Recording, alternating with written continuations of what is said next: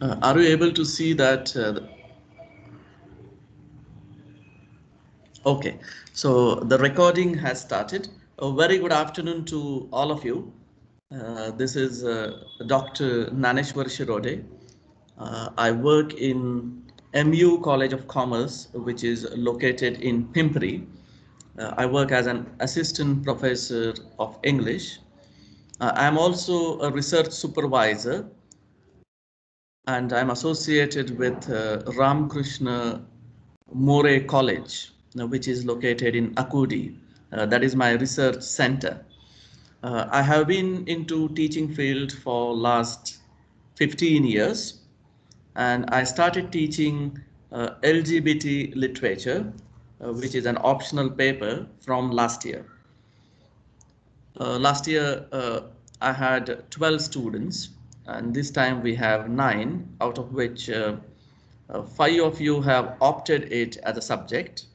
And uh, four of four of the students have opted it as an audit course. So this is a, a, little bit background about me. And uh, let's uh, talk about uh, our subject that is LGBT literature.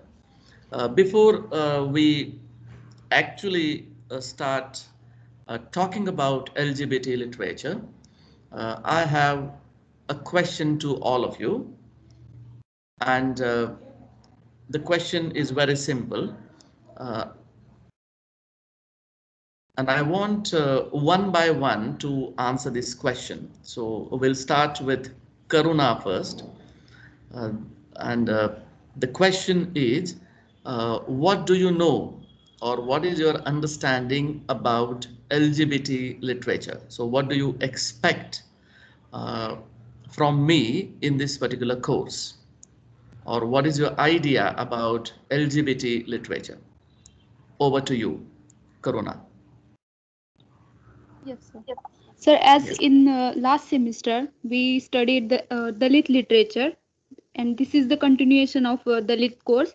So there we uh, there we uh, under there we learn to learn that uh, Dalit uh, the sub operation uh, on Dalit community communities the patriarchy uh, which forces uh, or the upper caste people people's uh, domination over the lower caste people.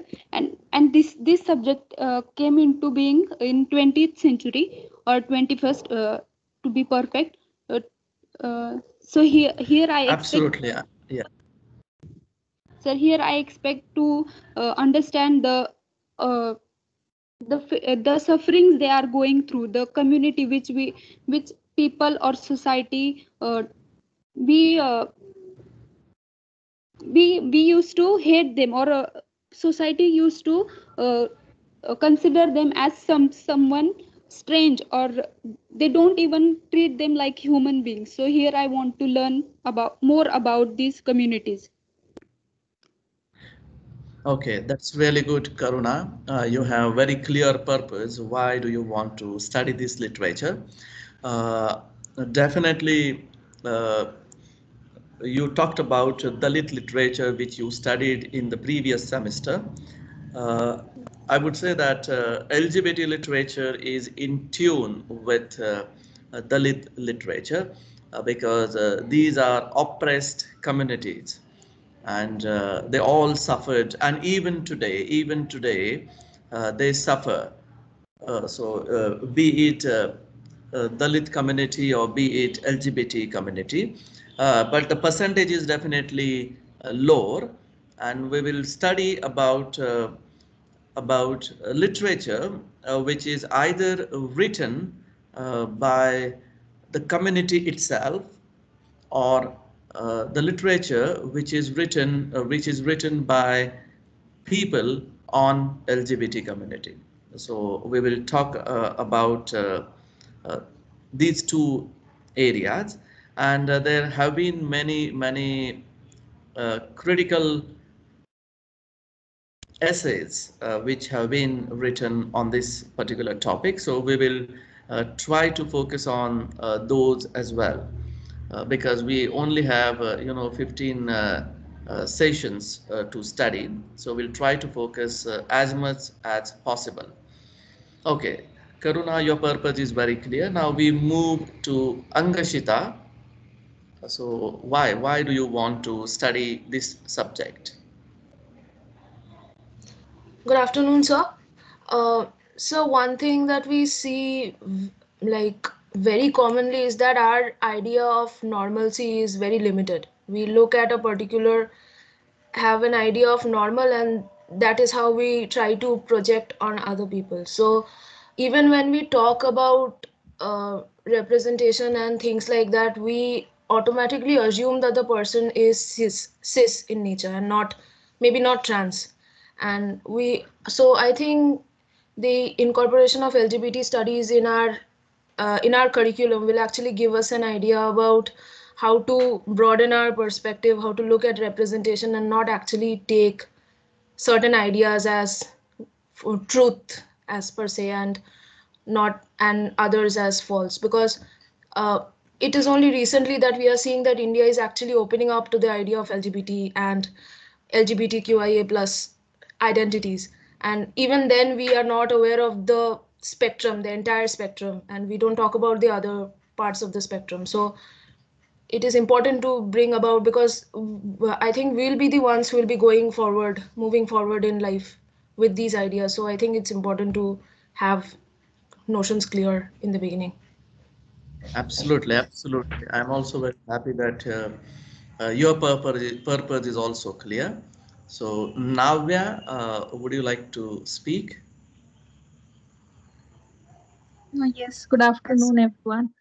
Um, as uh, Karuna also mentioned, uh, I one of the major purposes of taking up this course was because it is part of uh, resistant literature, which also includes Dalit literature and feminism as well. And I wanted to um, study this because we and we should have the sensitivity and awareness and like by doing this course i mean i will be able to help other people also have the sensitivity and awareness. And a lot of people hold on to this uh, concept of quote unquote purity which is i would say uh, quite recent because before colonial times um, there was no such thing as being against lgbt i mean it was normal in um, like pretty olden times. And a lot of the older generations consider um, lgbt as a fashion or a trend uh, which is like um, getting influenced from the western world. So um, yeah i would like to learn more and understand the history and background and all the politics involved in this better. Yeah. Okay. Yeah. Thank you, Navya. Uh, Dilisha. Uh, yes, sir. Good afternoon. Um, so when we talk about LGBT literature, I think um, for us, uh, for our generation, especially that is the millennial generation, I think uh, we, we already know LGBTQI as a trend and therefore we know all of the aspects in terms of a general sense because we were brought up to it. But um, i think what this um, subject will bring for us is that we can learn lgbt from a sort of um, technical conceptual method where we learn about history and movements and all of that. So i'm excited about that. And um, another thing for me is I think um, LGBTQI is still very um, taboo, and therefore um, us as literature students, if we go on to become educators in the future, I think the subject is really, really important. And therefore, honestly, this subject is one of the subjects that is a road to a sort of a new world. And therefore, that is the reason I have taken this subject. Thank you.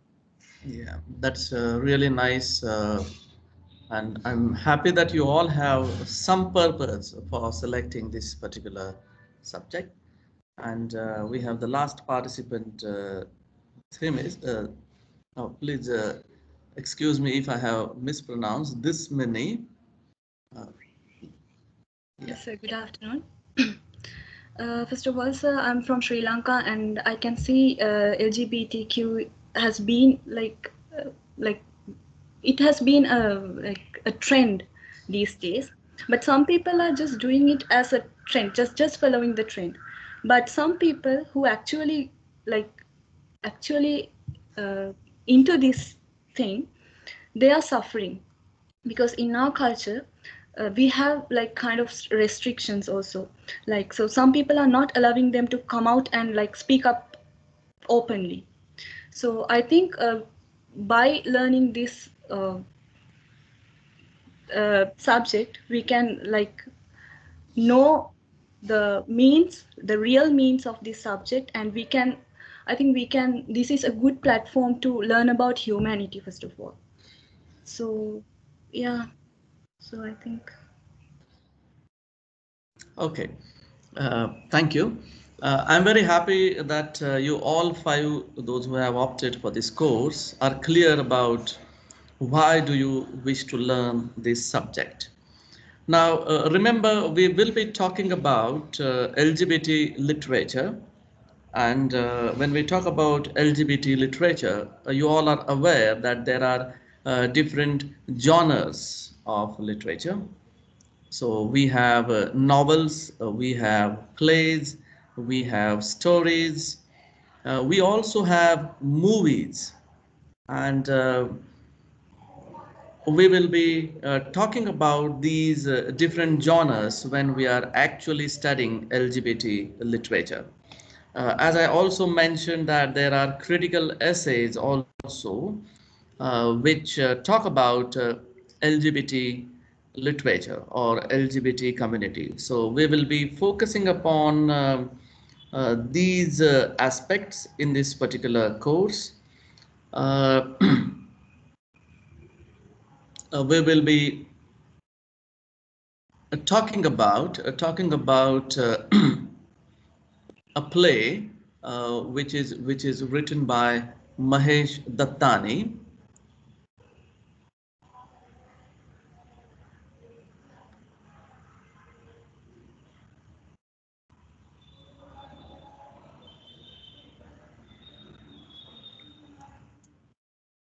Uh, Mahesh Dattani Mahesh Dattani, he himself uh, belongs to this particular community.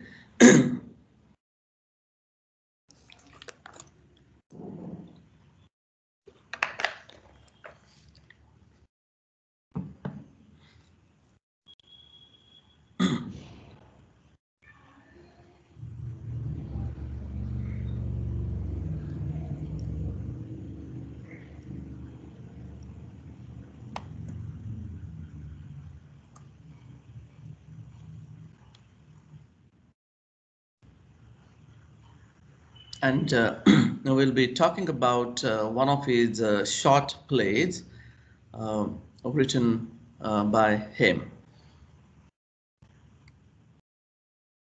And the title title of that play is uh, Night Queen. Uh, I'm sure that you all are aware of aware of the flower Night Queen and it blooms only at night. So we'll be talking about uh, LGBT in Indian drama, and that is uh, Night Queen. Uh, then uh, we are also going to talk about, uh, uh, you know, the intro. before we, in the beginning, we will talk about queer theory. I'm sure that you all are aware of the term queer theory. And uh, as far as uh, the concept or the term queer theory is concerned, uh, it actually combination of uh, LGBTQ. So uh, it's a broader concept and uh, we will be talking about basics of LGBTQ or queer theory then, uh, as I told, uh, we will study a drama, a Night Queen, which is written by Mahesh Dattani. Then we have short stories which are written by Devdutt Pattanaik, a modern writer. Uh, he has written a book uh, which is a collection of uh, different stories.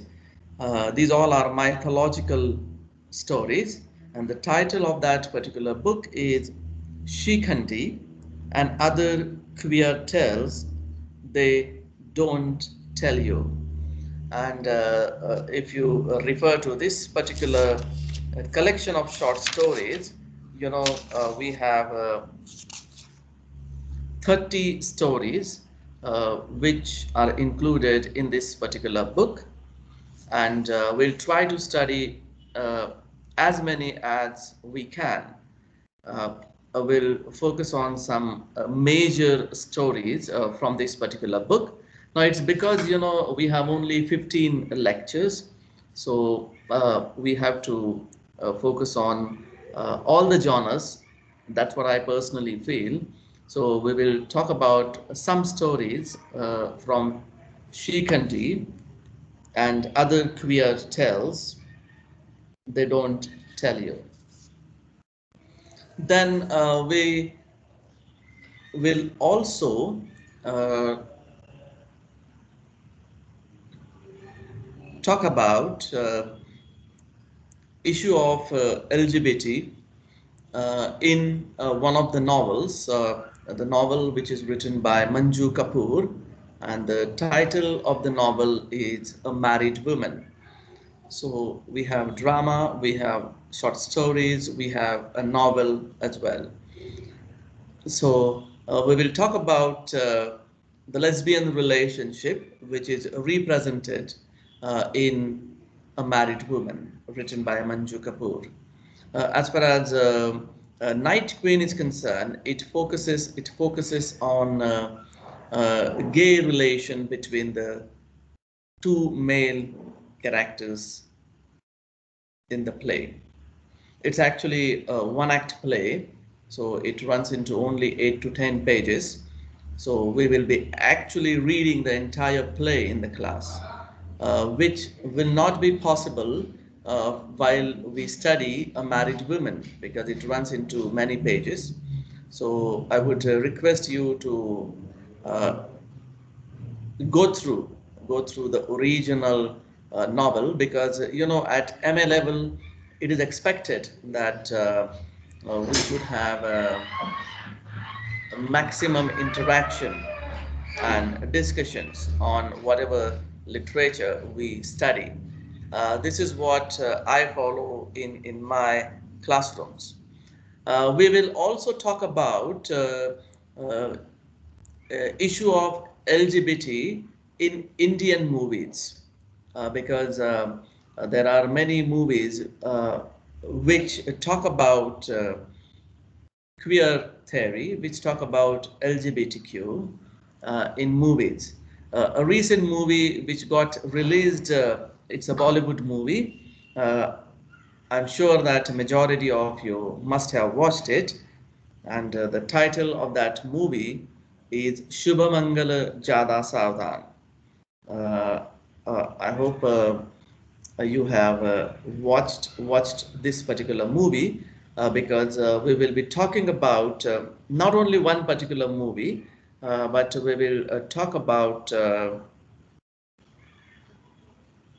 few movies. So uh, we have Shubh Mangal Zyada Saavdhan, uh, which talks about gay uh, relation.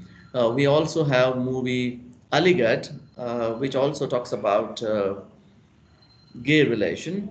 we have many more movies. So, you know, we will focus on one or two or maximum three movies because we need to discuss the aspect of LGBT in uh, Bollywood movies. To be precise, Bollywood movies. If I say Indian movies, uh, it's a very broad concept because in India we have uh, uh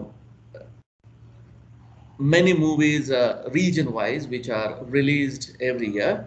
But our focus would be on Bollywood movies because that is the most popular in India those movies are most popular in India. So we'll talk about uh, that as well. Uh, then uh, we will also talk about uh, some theory, theory part. And you know, we will focus on sexual identity development models. Now, there are two critics or thinkers, uh, Vivian Cass and Anthony D'Augelli. Uh, these two uh, thinkers have uh, proposed uh, sexual identity development models. And they in detail talk about uh, various uh, stages, uh, various stages of these people, various stages of these people and how this sexual identity changes. Uh, among these community members. So we will be talking about uh, them uh, and we'll study uh, both the models. Uh, we'll also uh, talk about an essay which is which is written by Judith Butler. the essay is titled as Critically Queer. So that is the essay which we would focus upon. Uh, and you know, uh, while we are discussing uh, critical essays, we need to we need to study essay minutely. So we will be actually uh, analyzing that particular essay line by line. Uh, don't worry, I'll be uploading the material on Moodle so that you can download it uh, well in advance and then you can read it before uh, we come to the class. So this is what uh, I plan to discuss uh, in this particular course, uh, LGBT literature. And then um, to begin with, uh, we'll, we'll start with uh, the concept called queer theory. And, uh, you know, we have a book which is written by M.H. Abrams. And uh, the book is titled as A Glossary of Literary Terms. So uh, to begin with, uh, uh we'll try to understand the concept of queer theory. Uh, I think uh, someone left the meeting. Angashita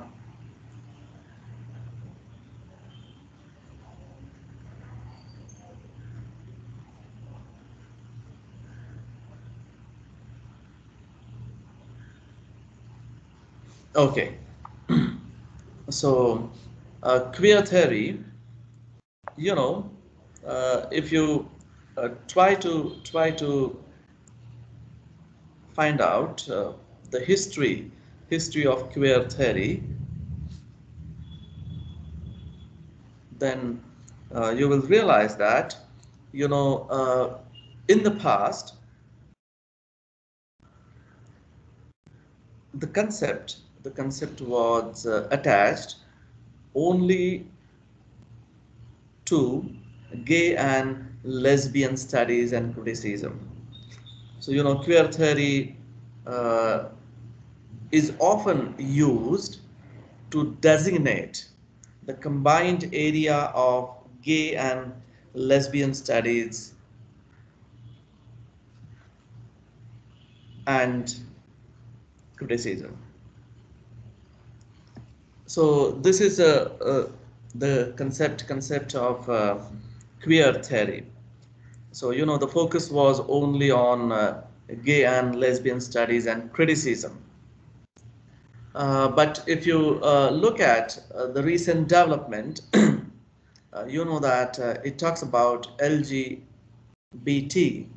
So LGBT stands for lesbian, gay, bisexual, and transgender. So you know uh, the narrower concept, the narrower concept of queerness uh, has been expanded and uh,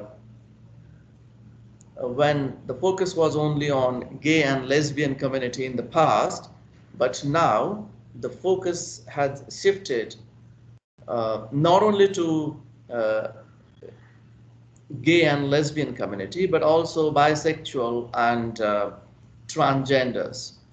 So this is something important because you know the transgenders uh, were often uh, ignored or neglected by the main community. And uh, one of you, or rather two or three of you, rightly pointed out that uh, there is a tremendous discrimination. And you know, uh, here we can correlate it, uh, uh, correlate it with Dalit literature. Now, you know, our society, our society is divided into different walls and these walls are of uh, different castes. And you know if you refer our history uh, we know that uh, uh shudras uh, were always dominated by other three varnas in indian context. So you know uh, and they were ill treated but the constitution gave them rights after independence and uh, that really helped to bring all these people into mainstream. But that wasn't the case uh, that wasn't the case with uh, uh this community. That wasn't the case with this community. And uh, you know even today even today uh, transgenders transgenders are ignored now, okay, see, gay, lesbian, and bisexual, these identities, uh, uh, you know, from outer side, we cannot identify whether the person is gay, lesbian, or bisexual. So they are in mainstream. But what happens with transgenders? So transgenders uh, uh, suffer more, means they all suffer, but transgenders suffer more than uh, other three communities, uh, that is gay, lesbian, and bisexual. Uh, fortunately, uh, you know, uh, in recent years, uh, if you refer to any admission form, you know, UGC has made it mandatory that students or applicants can disclose their identity as uh, male, female, or transgender. I'm sure that when you all filled in uh, admission form, uh, you would know that uh, these three options are available now. So thanks to UGC and their uh, uh, policies that we need to bring all these members in the mainstream. even though uh, there are people and uh, communities, those who are trying, social reformers, uh, those who are trying to bring these community members in mainstream, but they have not uh, got success the way they expected.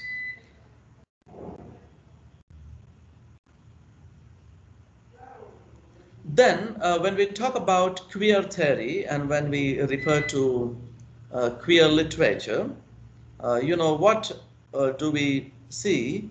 Uh, we talk about uh, theoretical as well as critical writings, which concern with all modes of variance. So, you know, that includes cross-dressing. Then it also talks about the normative model of biological sex, gender identity, and sexual desires. So, you know, when we are talking about queer theory, uh, we need to focus on uh, uh, we need to focus on all these aspects uh, when we are studying this particular subject. And that's why, you know, why we are uh, going to talk about why we are going to talk about uh, Judith Butler's essay because it critically analyzes uh, not only the literature but also uh, certain basic concepts about this.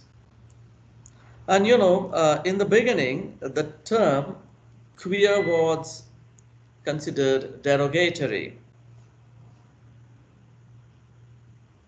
And you know, uh, the concept or the term queer was used and uh, inform to the world that uh, male and uh, male and female uh, same-sex love is unnatural. So you know uh, the intention of using this uh, concept queer was not at all positive in the past. Even today, nothing much has changed, uh, but uh, there is at least uh, some development and there is some protection from law as well. Uh, and uh, you know, uh, since the early 1990s, so you know,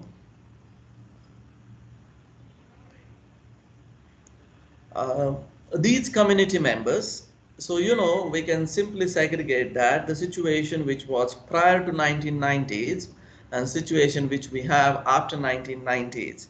Now again, when I, when I talk about situation prior to 1990s and situation after 1990s, it actually refers to situation in developed countries. So this is not the case with uh, India because it's uh, even a developing, uh, even today it's a developing nation. But you know, uh, the community members, uh, that is LGBT community members, uh, decided decided that uh, uh, they would uh, identify themselves as queer and they started applying this particular concept for their own benefit so uh, you know uh, as they started using uh, this concept you know uh, people started uh, thinking about uh, their way of life and people started uh, talking critically people in the sense thinkers. I'm not talking about common men. I'm talking about social reformers or critical thinkers or writers. And you know people started making scholarly inquir- inquiries about lgbt or about queer theory. And you know uh, you will find uh, these details uh, in books which are written by uh, Teresa de Lauretis and uh, the title uh, of the scholarly inquiry is queer queer theory uh, lesbian and gay sexualities uh, which was published in 1991 and then uh, we also have another uh, writing called Queer Theory and Introduction, which was published in 1996 by Anna Mary Jagos. So, you know, uh, people or the writers uh, started expressing themselves with the help of literature. Uh, we need to trace uh, the history more. And you know uh, when we try to trace history uh, we come to know that both lesbian studies as well as gay studies they both began as liberation movements. So they wanted liberty. And you know uh, the liberation movements started in parallel with the movements for African American and feminist liberation. And uh, you know, uh, we know that uh, uh, we know about uh, liberation movement of African American, and there is a lot of literature which is also uh, written on African American scenes. There is also feminism and feminist literature. So uh, you know, uh, women also suffered, and why feminism became one of the prominent uh, area of studies was the reason. And why do we have LGBT or queer theory as a prominent uh, form of literature? It's all because uh, there was a lot of discrimination uh, made by common people. Now, when I say common people, that does not mean that uh, uh, these people are uncommon. Uh, I just mean to say that it's to whom we consider common. So we consider ourselves that, oh, I do not belong to LGBT community. That means I'm normal person, I'm common person. So again, that is a misconception because uh, when we actually try to interact with these community members, you will realize that how do they suffer uh, and they, how they are suppressed, they are neglected by the main society. So, you know, uh, uh, this was actually a liberation movement uh, which started actually in the late 1960s and 1970s. And you know, uh, uh, these uh, movements actually uh, maintained a relation uh, to the political activities. So, you know, they also realized that uh, you need a political support if you really want to get success or if you really wish to make reforms.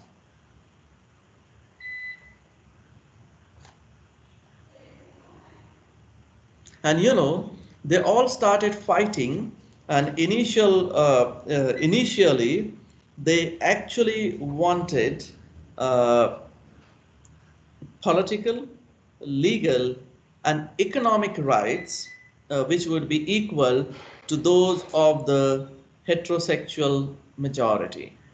So, you know, what was the intention of uh, these liberation movements? The main intention was to get basic rights like political rights, legal rights, as well as economic rights.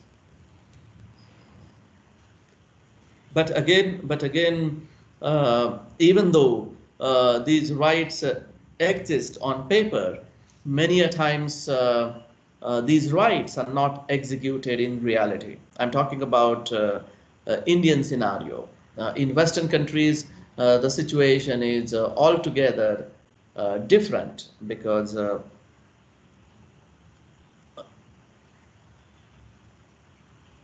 they are much advanced in terms of thinking and awareness about rights is concerned.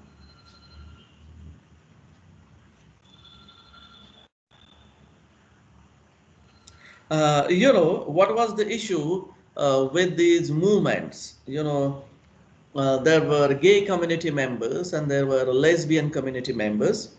So, you know, uh, in 1970s, uh, when these liberation movements uh, started, when they started fighting for their rights, you know,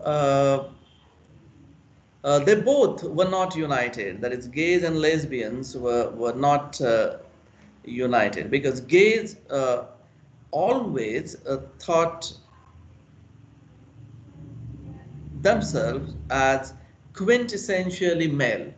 So you know, gay community people thought that they are in uh, in quintessentially uh, close to male community, and uh, lesbian uh, members, those who are female members, you know, they actually thought of, uh, you know, they are aligned, they are aligned towards a feminist movement. And, you know, there were, you know, differences of opinion between these two communities as well, uh, because, you know, uh, these lesbian members uh, thought of gay movement as anti-female attitude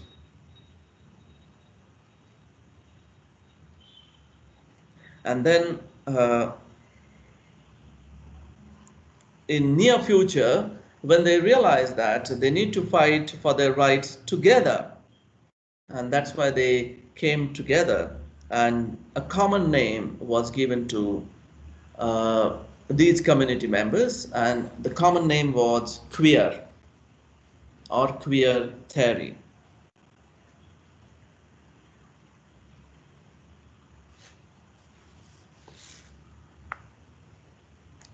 Okay, is it clear till now? Yes, Yes, sir. sir.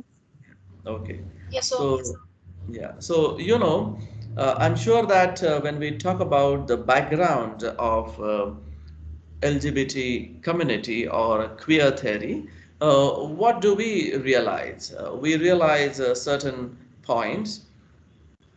Uh, can somebody uh, uh, uh, would like to answer? Uh, does anyone want to answer this question? Uh, what are the key takeaways when we talk about the background of queer theory? Any one of you can answer.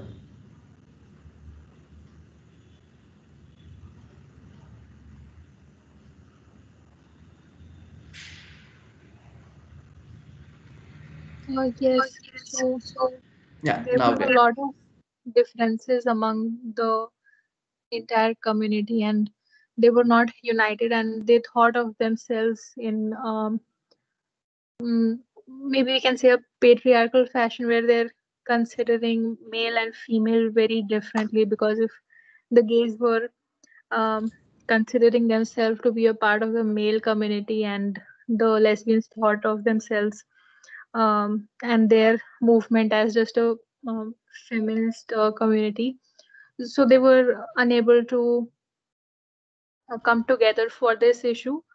And uh, yeah probably this caused a delay in the realization of their rights. And later on they all um, became united because they felt that there was a yeah similar uh, deep rooted issue which had to be fought for together Absolutely. Now, yeah, you have summarized it uh, very well.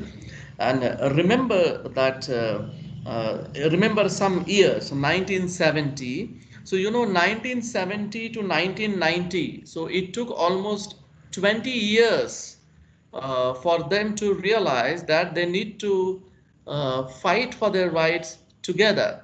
And if they fight separately, then that would be a problem and they won't get their rights. Now, this is all about uh, till 1970. And then, you know, uh, in 1980s and 1990s, so you know there are there are many changes uh, which uh, took place because uh, there were uh, many writers who raised questions and they actually analytically analyze the viewpoints which were expressed in the past. And so, you know, we have uh, viewpoints and analytical methods of uh, writers like Derrida, Foucault, and other post structuralists. And, uh, you know, uh, their viewpoints or their opinions uh, changed the entire scenario. And you know what was their assumption?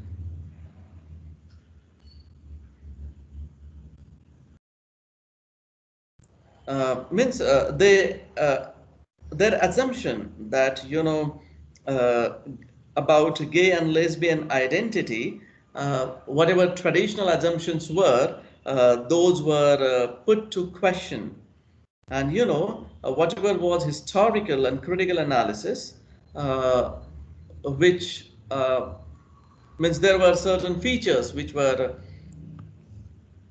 actually uh, attached to these community members and then uh, those were actually put to questions by these post-structuralists and then uh, the complexity increased. So remember that these 1980s and 1990s, that these post-structuralists uh, talked about uh, the issues uh, which are uh, related to which are related to LGBT community, and you know Foucault uh, has actually Foucault has actually uh, focused on these issues issues in his um books uh, I'll definitely share those books to you because uh, we won't have time to read uh, all those four volumes which he wrote, uh, which uh, which uh, are written by Foucault.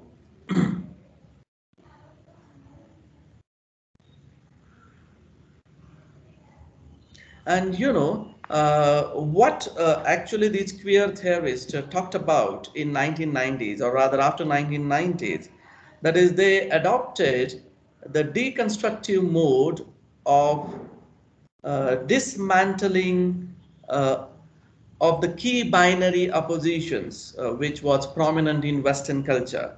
So, you know, uh, what are these uh, binary uh, concepts which we have in Western culture? So we have male, female, we have heterosexual and homosexual, we have natural and unnatural. So this was this is actually the traditional viewpoint.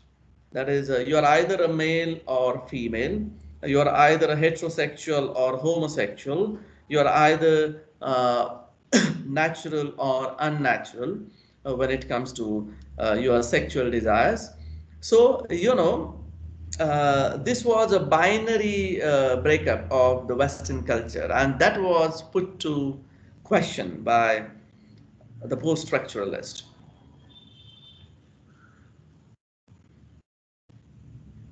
And then uh, they started uh, talked about uh, they started talking about two categories. That is uh, you know we need to look at things uh, from two different uh, categories. And uh, what are these two categories? And number one that is one category is privileged powerful and they are at the central and the second category is that of derogated subordinated and marginalized so, you know, this was uh, uh, very prominent uh, in the theory of deconstruction. So, uh, you know, uh, LGBT or queer theory was part of the second category. And what was that category? Uh, you are either derogated, you are subordinated, and you are marginalized. And uh, that's why, you know, somebody answered when I asked a question that we can correlate it with Dalit literature. Why? Because uh, Dalit community also belonged to the second category. That is, they were also derogated, they were also subordinated, and they were also marginalized. Even though I have used past tense, uh, we can use present tense as well, because the situation in India has not changed much definitely it had changed for sure. But uh, when we uh, talk in terms of percentage, uh, the percentage is even today at higher level. Now, you know, we all are very fortunate that we all uh, are in city areas. But if you actually go in rural areas, uh, you will find uh, real issues. And, and you know, 70% of population of India, even today, stays in rural areas. So this is actually uh, the development. Uh,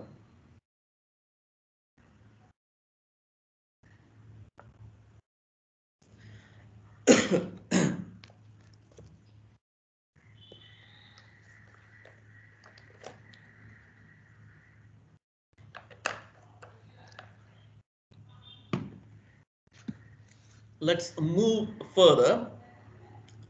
Uh, there is an important essay uh, which was written in uh, 1980, uh, Compulsive Heterosexuality and Lesbian Existence.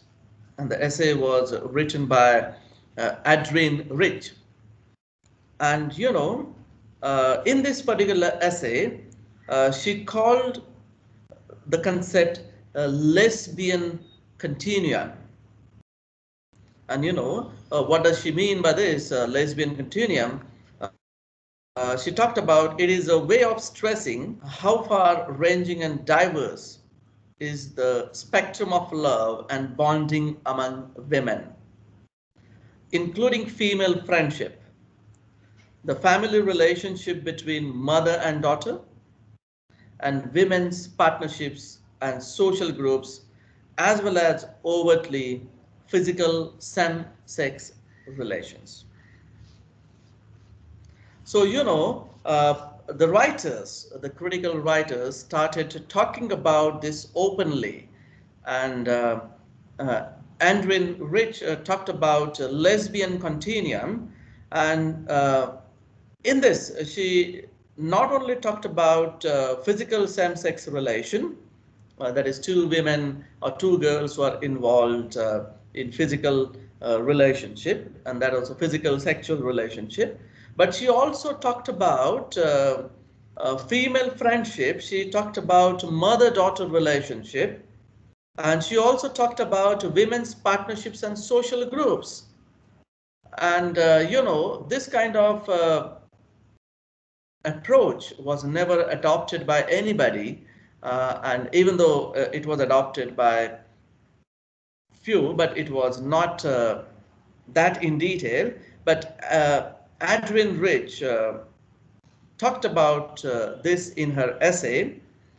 And she tried to give some sort of positivity because see when you talk about mother-daughter relationship now, when it is mother-daughter relationship, it's positive relationship, isn't it? When we say uh, mother and daughter, they both have uh, good chemistry and they have very good relation with each other.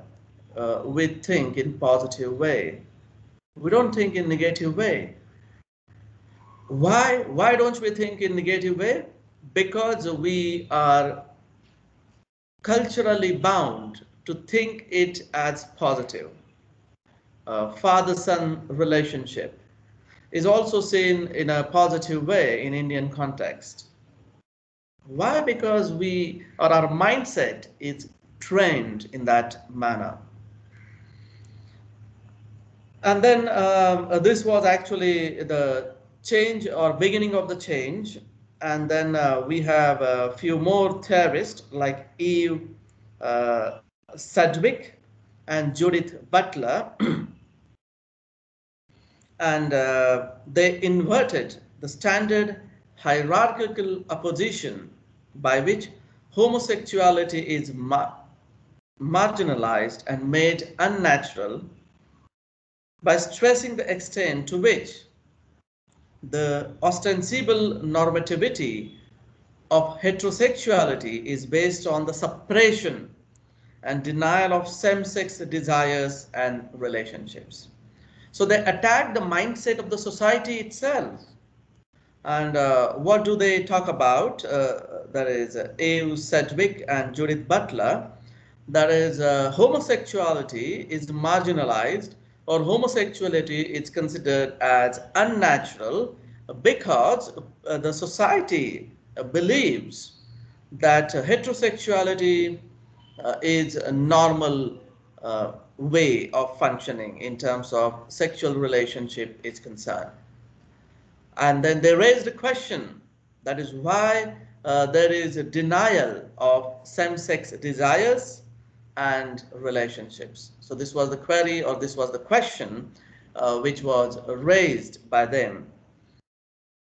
And you know, if you look at 1990 or uh, 1980 onwards, you know, uh, 1970 uh, the movement started, two different movements. By 1990, they realized that they need to work together.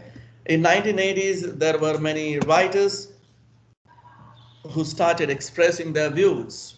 And uh, we have uh, important uh, writers, uh, uh, those who are from post-structuralism or the post-structuralist, Derrida, Foucault, those who raised questions about this they raised questions based on key binary system uh, and uh, they categorized human society into two parts. And in 1980, um, Adrienne Rich talked about lesbian continuum, and that essay was also an eye-opener. And it was uh, moved forward by Eve uh, Sedgwick and Judith Butler, uh, where they attacked the society and they stated that, you know, the society denies the same-sex desires and relationships. Uh, and they said uh, that is homosexuality is considered as uh, as uh, unnatural and it is marginalized by people, those who are heterosexual. Okay, is it is it uh, clear till now? Yes, yes. Okay, so I think uh, uh, we'll continue with this particular theory in uh, coming week. I hope uh, you enjoyed uh, today's class and there was some sort of understanding uh, related to queer theory and uh, I focused upon uh, some of the important years and the development of uh, queer theory and I also refer to some of the essays uh, definitely, I'll try to post these essays uh, in the Moodle group. And if I'm unable to do that, uh, I'll definitely post it uh, in our WhatsApp group. So before I call it a day, uh, do you have any questions to ask? So our Moodle group is going to get upgraded or something. So I think it will be uh, our older Moodle group will be shut down for some time. So could you send the thing, uh, the essays in our WhatsApp group or something? Yeah, yeah, I'll do that. I actually I prefer to send uh, on WhatsApp group. So I'll definitely do that. And as a backup, I'll send it uh, on Moodle group as well. Don't worry. So uh, wherever you have access, I'm sure that you all would have access on WhatsApp group. Yes. because your cell is always with you. Uh, like everybody has uh, their cell phone with them. So, and uh, majority of you might be attending classes from your mobile phone. So no issues at all. Uh, I'll post it uh, at uh, both the platforms. Don't worry about it. Okay. Sir, I think the new Moodle group hasn't come out yet. The new one. Okay, Okay. so we'll just uh, sort it out. I'll talk to the authorities of the university, but don't worry, I'll post it uh, by tomorrow. Uh, what whatever we have talked about, so that uh, you can keep reading. And you know, uh, I'm very happy that you are very interactive, all five of you. You are participating uh, in the discussions, uh, and uh, we'll keep doing that uh, in our coming lectures as well. So thank you, and uh, I request all of you to leave the meeting and see you on coming Friday at 2. And I'll be following the same link for conducting our classes. So thank you and bye-bye. Thank you so much.